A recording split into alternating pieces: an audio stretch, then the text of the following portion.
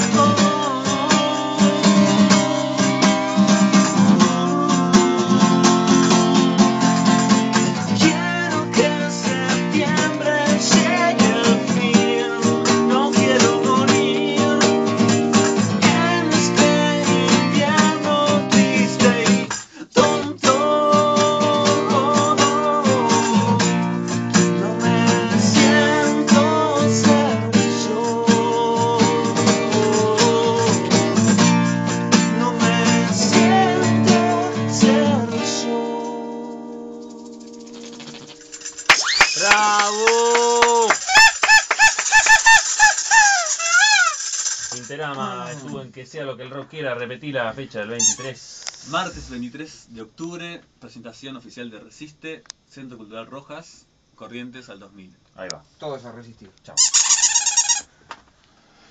Buenísimo. Hagamos la foto de rigor. Muy bueno. Bienvenido. Desligado.